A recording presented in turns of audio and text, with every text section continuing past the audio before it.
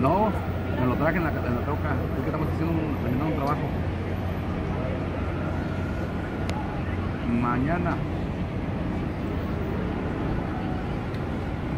Mm, como a las 10 ya estoy en la casa. A las 10 de la mañana. ¿Ok, Pedro? Ok.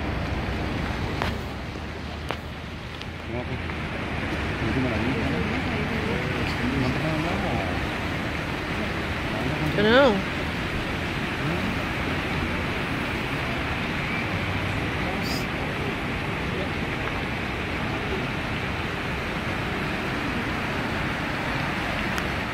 Vamos pegar.